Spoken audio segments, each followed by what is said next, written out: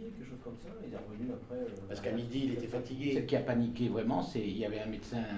Son état était déjà précaire et on savait qu'il avait une faculté de résistance euh, assez limitée. Et puis, euh, pour le reste, on verra les bulletins de santé quotidiens qui seront faits par les, par les professeurs. Je ne pense pas, franchement, que la garde à vue soit une mesure particulièrement utile pour recueillir les explications de Jean-Noël Guérini sur des dossiers anciens.